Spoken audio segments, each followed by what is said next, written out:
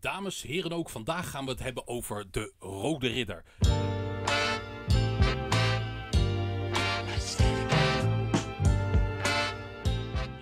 Een fantastische pulp fantasy ridderreeks van Vlaamse bodem, uitgebracht door Studio van der Steen, eh, getekend en verzonnen door eh, Willy van der Steen naar aanleiding van de romanreeks De Rode Ridder van Leopold Vermeire. Maar de reeks is uiteindelijk door Karel Biddelo daadwerkelijk in ja, de stripgeschiedenis, uh, het geheugen gegrift. Fantastische reeks. En uh, Biddelo heeft ooit gezegd: Dit is pulp dat evenveel kost als een pakje sigaretten. Het is domweg lollig vermaak. Uh, spannend voor een kwartiertje. En daarna leg je het weg. En uh, ga je weer naar het volgende verhaal. Of ga je een biertje drinken. Of uh, ga je een sigaretje roken. Maar het gekke is. Is toen ik dus weer het een en ander las over de Rode Ridder. en het dus eigenlijk pulp fictie genoemd werd, moest ik denken aan de film Pulp Fiction. En dan denk je, ja, hoezo Pulp Fiction? Het gekke was, dit album heb ik tegelijk eh, gekocht met de CD van de filmmuziek van Pulp Fiction. Toen ik dit album ging lezen, De Rode Ridder, De Holle Aarde, zette ik dus de filmmuziek van Quentin Tarantino op. Achteraf bleek dat niet helemaal toevallig te zijn, want het zijn beide uitingen geweest van Pulp dit een pulproman. Pulp Fiction natuurlijk een pulpfilm, een B-film. En Quentin Tarantino, weten we natuurlijk wel, is een enorme liefhebber van het pulpgenre, de B-film. En ja, het gave is, is, dat wist ik toch intuïtief op mijn 16e jaar al met dit album. Ook Karel Biddelo beschouwde dus De Rode Ridder als pulp. En Karel Biddelo was, net als Quentin Tarantino, een enorme cinefiel. Net als Quentin Tarantino bekeek Biddelo science fiction, western, fantasy, eh, echt nou, alles wat maar los en vast zat. En waar hij dus ook verhalen uit kon putten en kon gebruiken voor zijn eigen producten. Net zoals Quentin Tarantino dat ook zou doen, zou Biddelo heel veel gebruiken uit de films die hij zag.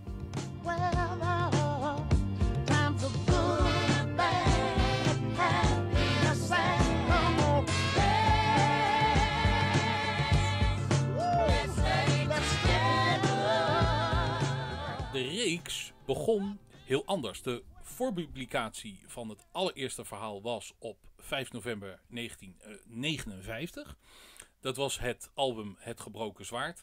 Die heb ik overigens nog steeds uh, niet. Maar uh, een album wat ik al heel lang ken is het tweede deel, De Gouden Sporen.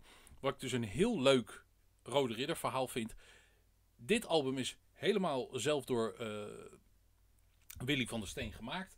En dit is echt typisch een ridderverhaal. Overigens ook goed getekend, maar ook een goed spannend verhaal.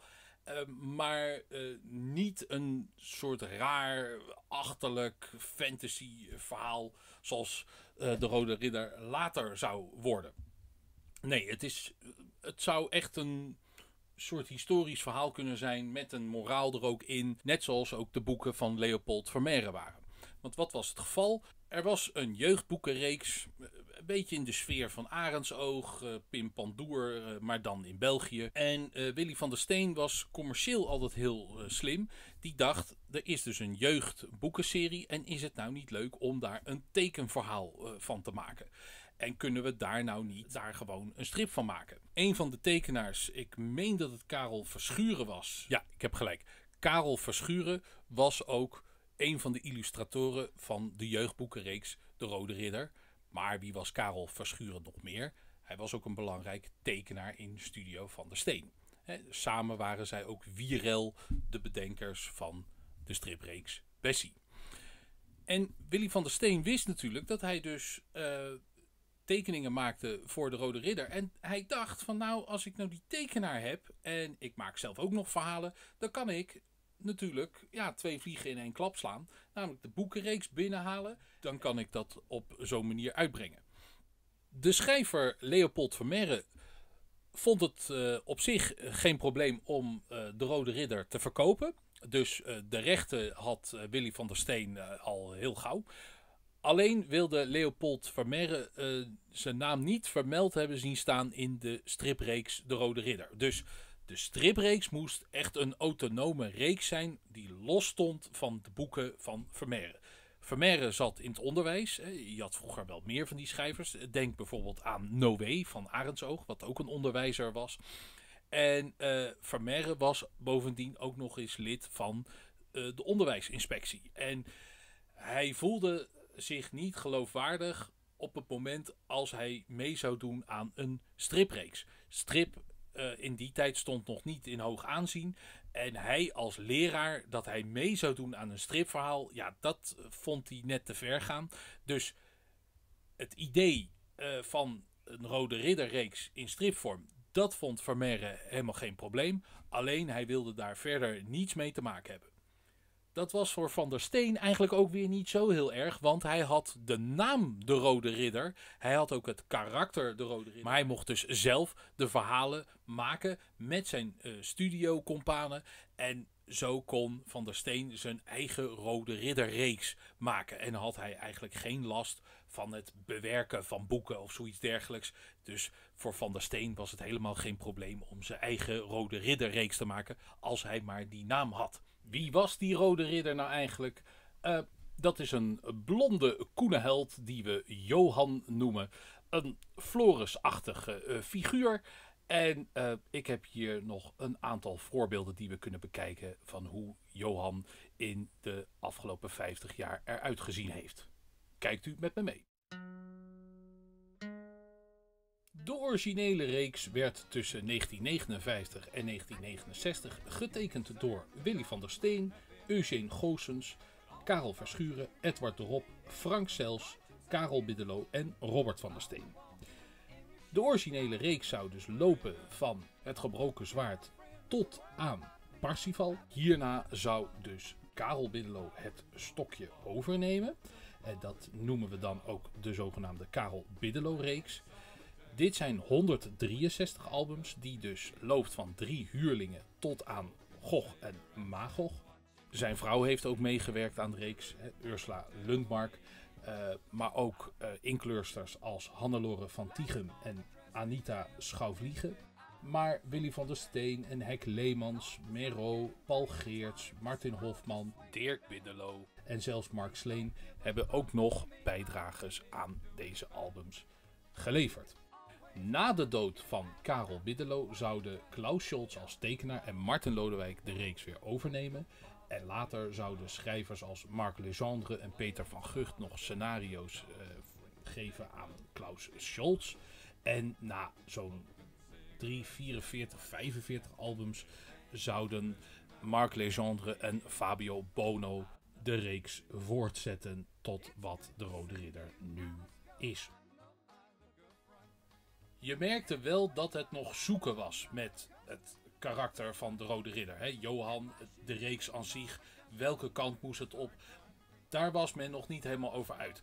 Willy van der Steen had zelf wel een aantal krachtige albums neergezet, maar zijn medewerkers later zouden er nog veel moeilijkheden mee hebben. En het leek er dan ook wel op dat de Rode Ridder op de nominatie stond om helemaal uh, afgeschaft te worden. Net zoals dat later ook met reeksen gebeurde, zoals Biggles en Safari. En uh, Karel May heeft nog wel een tijdje gelopen. Maar ja, Van der Steen was toch steeds ook weer opnieuw uh, verhalen aan het ontwikkelen. En had, ja, laten we het zo zeggen, op een gegeven moment gemengde gevoelens over de Rode Ridder. En de Rode Ridder stond dus zeker weten op de nominatie om ja, uh, verwijderd te worden uit uh, Studio van de Steen.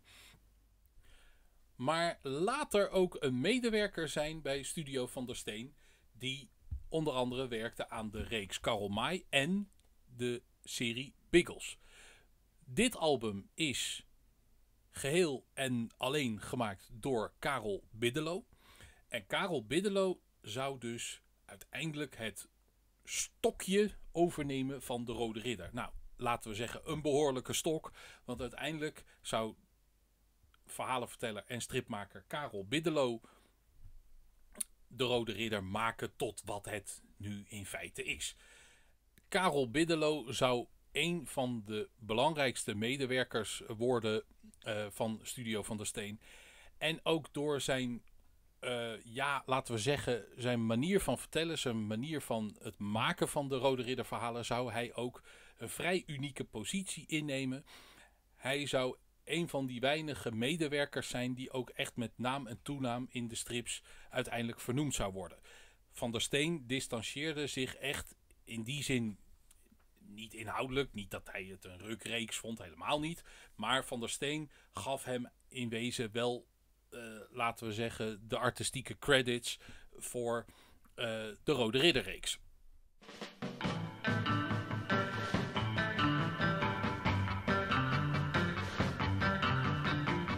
Karel Biddelo werd dus geboren in 1943 in Wustwezel, maar bracht een enorm deel van zijn jeugd door in de Congo. Net als Van der Steen zou hij studeren aan uh, het Instituut voor Sierkunsten en Ambachten in Antwerpen. Uh, toen Karel Biddelo natuurlijk op de kunstacademie ging studeren, toen was hij natuurlijk allang bekend uh, met het werk van Willy van der Steen. En dat heeft hem ook aanzienlijk beïnvloed.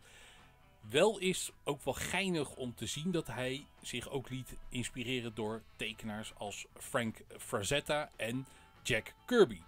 Maar romanschrijvers als Robert E. Howard, Fritz Leiber en Michael Moorcock waren ook grote inspiratiebronnen voor hem. En hij las ook al tijdschriften als Creepy, Eerie en Vampirella. Biddelo was uh, ja, een groot tekentalent. Um, maar dat vonden niet alle docenten. En uh, sterker nog, er was ook een docent die vond het echt uh, waardeloos, het werk. Uh, kennelijk zijn er docenten die het nodig vinden om studenten te breken. Hè, zo, met het idee van we, we breken je en dan bouwen we je weer helemaal op. Maar ik vind dat altijd een waardeloze manier van lesgeven geef nou maar gewoon tekenles en vertel gewoon hoe het moet. Want als je dat als docent niet kan uitleggen, dan ben je dus gewoon ook een waardeloos docent. Hoewel uh, die tekendocent op de kunstacademie in Antwerpen het uh, talent van uh, Biddelo niet zo zag zitten, zag Willy van der Steen het talent van Karel Biddelo wel. En naast het werk wat Biddelo deed bij allerlei warenhuizen, verzekeringsmaatschappijen en grafische bedrijven, kwam hij dus werken bij Willy van der Steen. In 67 werd hij dus een studiomedewerker van Van der Steen. Het vervelende wel was, was dat hij uh, natuurlijk eerst nog met allerlei mensen moest samenwerken en dat daardoor deadlines niet gehaald werden. En bijvoorbeeld Karel Verschuren miste zijn deadlines, waardoor Van der Steen uh, iets te enthousiast allerlei mensen ontsloeg, waaronder dus ook Biddelo. En ja, dat vond ik wel schattig om te lezen. Maar uh, toen kwam de moeder van Bidlo en die vroeg aan Van der Steen: joh, kan je die jongen nou in ieder geval niet nog een paar maanden aan het werk houden en hem niet nog een kans geven? Van der Steen deed dat en in die drie maanden dat hij dus nog uh, zou werken, zou hij een enorme uh, slag slaan met het maken van stripalbums. Met name dus de Biggles-series, de Karl May-series en dus ook Safari en de Rode Ridder. Van der Steen was nog niet eens zo onder de indruk misschien van dat tekenwerk. Ja, dat vond hij geweldig. Maar het feit dat Biddelo ook een enorme fantasie had, die bij wijze van spreken uh, zijn eigen fantasie kon evenaren. En dat dus uh, Karel Biddelo in staat was om zijn eigen verhalen te maken en deze te tekenen. En dat zou een goudmijn voor Studio van der Steen blijken te zijn. Dus Willy van der Steen zag in dat Biddelo ontzettend leuk verhalen kon vertellen. En zij dus ook, alsjeblieft, jij gaat gewoon lekker aan de Rode Ridder beginnen en jij gaat deze reeks voor mij voortzetten. Het eerste complete verhaal van Biddelo was Drie Huurlingen uit 1969. En daarna zou hij 36 jaar lang de Rode Ridder blijven schrijven en tekenen. Uh, Karel Biddelo deed in principe bijna al het werk zelf. Maar hij kreeg ook nog wel eens hulp van zijn broer Dirk Biddelo. Uh, die, die schreef wel eens nog wat scripts.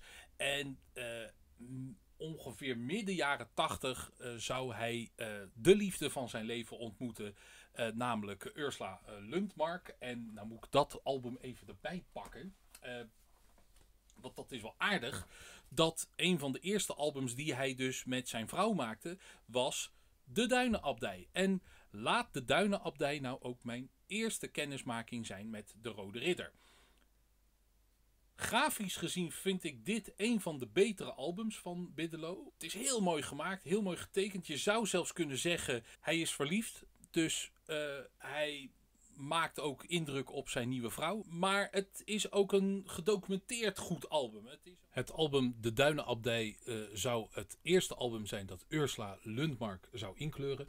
En er wordt Frans ingesproken en Zweeds. Want Ursula Lundmark kwam uit Zweden. En ja, met dit uh, deels uh, vikingen ridderverhaal... ja, gaf dit natuurlijk wel een extra leuke saus qua authenticiteit van de verschillende volkeren die met elkaar in aanraking komen. Ik had al gezegd dat er ook Frans in het album werd gesproken. Officieel zou zij dit album inkleuren. Officieus deed Karel Biddelo dit zelf. Hij durfde nog niet helemaal te vertellen aan Van der Steen dat ze het nog niet zo heel goed kon. Maar vervolgens zou zij de, in de latere albums het kleurwerk wel van hem overnemen. De Duinenabdij, uh, overigens is dit niet het exemplaar wat ik ooit gekregen had. Uh, dat heb ik toen helemaal stuk gelezen en uiteindelijk is het verdwenen. Dus ik heb dit uh, veel later gekocht weer. Ehm, lekker spannend verhaal, lekker goed doortimmerd, met ook een beetje magie. En een van de grafische handelsmerken die ik ontzettend sympathiek vind van Karel Biddelo, want ik snap het zo goed is dat hij manieren verzon om zijn productie op peil te houden. En als je het ziet, dan denk je, ja, ik zou het ook doen. Karel Biddelo heeft heel lang de Rode Ridder in het zwart-wit moeten publiceren. Ofwel, uh, aanvankelijk was het nog uh, rood-blauw en later werd het donkerblauw. Uh, maar tot midden jaren 80 waren zijn albums nog in het zwart-wit dat gaf hem de mogelijkheid om uh, een aantal grafische trucs toe te passen in zijn uh, stripalbums. En wat hij deed, met name met de locaties, was dat hij die niet helemaal ging uittekenen. Maar wat deed hij? Hij fotografeerde locaties. hij maakte gebruik van foto's van kastelen, van bossen, van duinen, van moerassen. veel natuurschoon, om het zo maar eens te zeggen. En die kopieerde hij in heel hoog contrast, zodat je eigenlijk heel duidelijk zwart-witte uh, vlakken krijgt. Dan kan je met plakkaatverf en met Oost-Indische inkt uh, een aantal uh, toetsen in aanbrengen, zodat je het contrast nog scherper krijgt. En daardoor heb je dus heel leuk een effect van, laten we zeggen, fotografisch realistische achtergronden. Waarin je dus uh, de Rode Ridder en zijn vijanden en kompanen uh, voor kan plakken, als het ware. En dat was een techniek die Biddelo in de jaren 70, 80 heeft ontwikkeld. En die die dus veelvuldig in zijn stripalbums gebruikte. En dat maakte het heel makkelijk om de productie hoog te houden van zijn albums. Want daar ging het toch vooral ook om.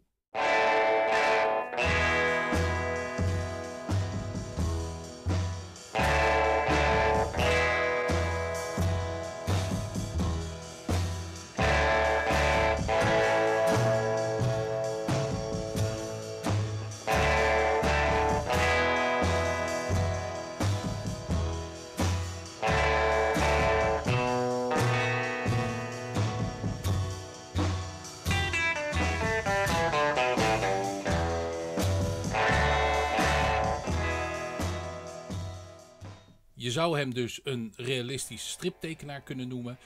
Maar uh, ja, ik vind het uh, niet heel realistisch in de zin, uh, tuurlijk, de verhoudingen en dat soort zaken, dat klopt allemaal wel redelijk.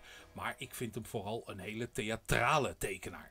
En dat is wat ik zo aantrekkelijk vind aan deze stripreeks. Het nu kom ik eigenlijk op de beoordeling waarom ik het zo'n leuke stripreeks vind. Want Karel Biddelo was naast tekenaar ook een practical joke man. Hij maakte ook fotostrips van zijn collega's. Dus hij uh, ging in Studio van der Steen, uh, liep hij met een camera en dan zei hij, maak even een paar gekke poses. En dan maakte hij foto's en dan maakte hij daar weer lollige stripboekjes van. Uh, fotostrips, een beetje de romanstrips moet je, moet je aan denken. Hij was ook lid van een ridderclub, waarin hij dus helemaal real life, een beetje larpen, hè, live action roleplaying deed hij dus ook. Um, dat deed hij dus met ridderkostuums, maar hij deed het ook in een western dorp, waarin hij dus Johnny Rap heette. En dan deed hij allerlei western shows voor publiek. Er waren dus ook allerlei karakters in dat western dorp en hij was natuurlijk ook een enorm fan van de western, maar ook de, de spaghetti westerns en dat soort films. Dat vond hij geweldig. Dat verwerkte hij dus ook allemaal in zijn albums. Het was dus een enorme fantasierijke gozer. Omdat Karel Biddelo zo'n enorme liefhebber was van allerlei soorten films. B-films, westerns, actiefilms, fantasy, sword en sandal, eh, science fiction. Gebruikte hij heel vaak van dit soort elementen in zijn stripalbums. Ik heb een paar leuke voorbeelden. Bijvoorbeeld, De Ster van het Oosten is rechtstreeks geïnspireerd op de film Jaws van Steven Spielberg. De Vluchtelingen en Carpax de Stalen Man. Nou ja, ik wil niet veel zeggen, maar dit is gewoon Star Wars, science fiction. Ik heb hier wel leuke voorbeeldjes nog van. Uh, je ziet hier echt, nou ja, hier zie je dus echt gewoon een hele reeks uh, Death Stars uh, vliegen. Hij maakt daar gelijk 20 van. Het bronzen gevaar en de Scharlaken Brigade. Dat zijn gewoon klassieke westerns. Dit is een uh, postkoets die uh, een gevangene naar een bepaald punt moet brengen. En die worden overvallen door ja, hunnen, maar dat zijn natuurlijk gewoon de Indianen. En de Scharlaken Brigade is de cavalerie die op het eind, als de nood het hoogst is, komen zij net op tijd voordat het helemaal fout gaat. Het bronzen gevaar, ik kan er niks aan doen, maar daar zitten gewoon stukjes in die rechtstreeks uit The Wild Bunch komen van Sam Peckinpah. Dit is echt een klassieke western. De Rode Herberg is een horrorverhaal met een kamer die mensen opvreet. Iets heel achterlijks eigenlijk, maar geweldig album met leuke detective elementen erin. De Weerwolf is Beauty and the Beast. De Duistere Bondgenoot. Ook weer een horrorachtig verhaal. Een soort, um, ja, de Twilight Zone idee. Het Verdronken Land. Dit vind ik ook een geweldig album. Iets in de jungle en met slaven. En Karel Biddelo gebruikt heel veel elementen uit de films die hij gezien heeft. En dat doet hij fantastisch.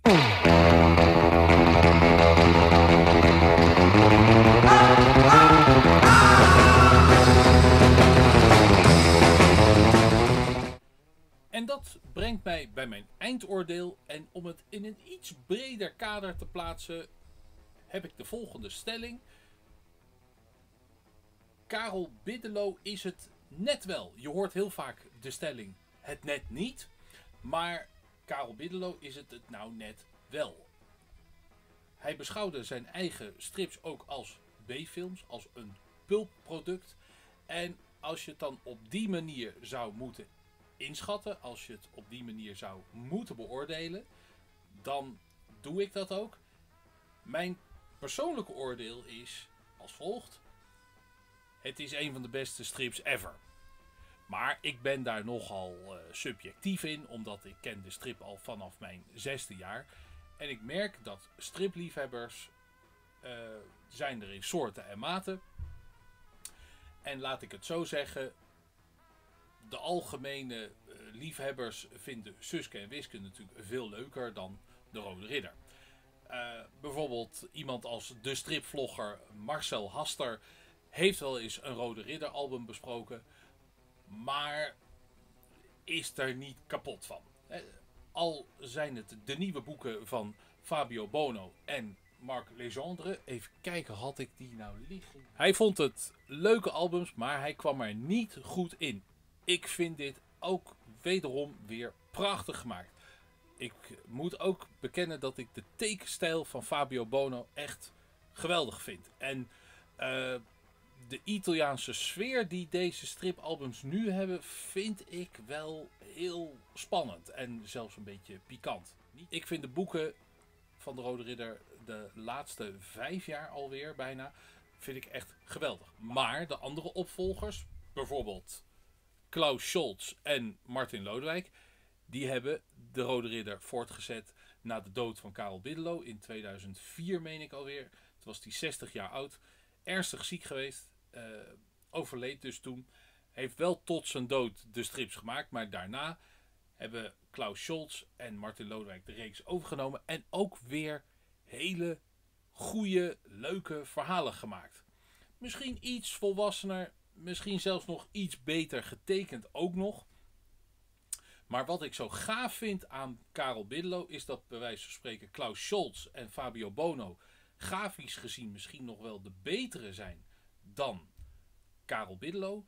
Maar Karel Biddelo vind ik meesterlijk in zijn theatrale tekeningen.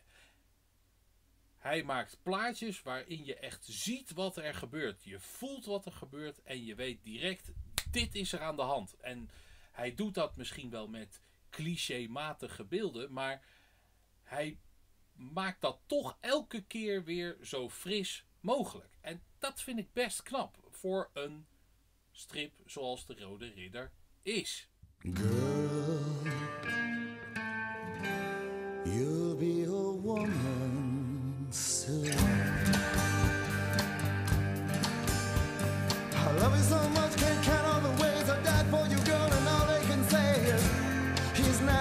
kind. They never get tired of putting it down, and I never know when I come around what I'm gonna find.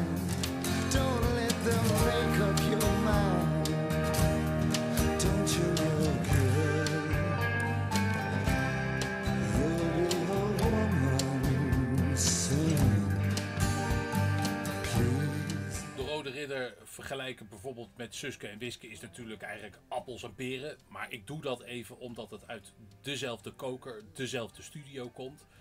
Maar om het dus in een breder kader te plaatsen, ehm, op welke plek zou de Rode Ridder dan staan uh, als het gaat om ja, het net wel, het net niet, meesterwerk of geen meesterwerk?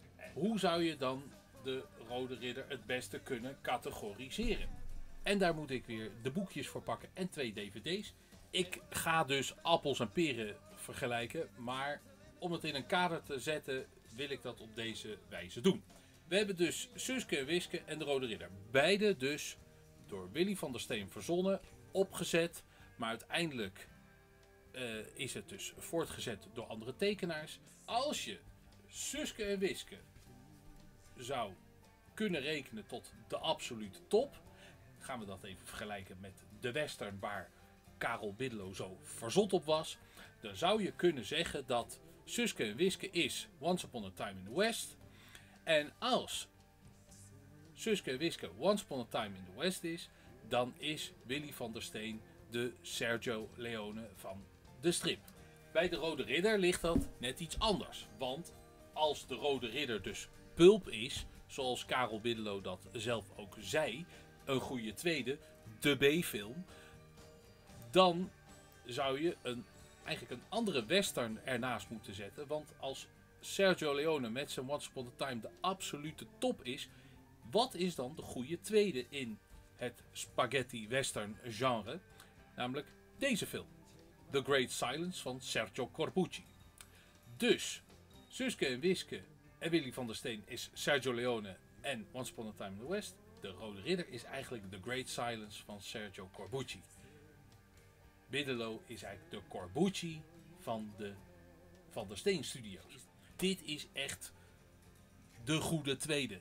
Dit is het ook het net wel. Ik hoop hiermee duidelijk gemaakt te hebben hoe ik deze strip bezie, hoe ik deze strip ervaar. En dat ik het als een enorm meesterwerk beschouw. Uh, en daar zullen velen het met mij eens zijn. Maar ik weet dat er ook wel degelijk een groep is die er kritiek op heeft. En dat wil ik ze ook echt wel geven. Maar voor mijzelf, ik blijf dit tot in lengte van dagen en jaren lezen en genieten. En daarmee wil ik het besluiten en tot een volgende keek.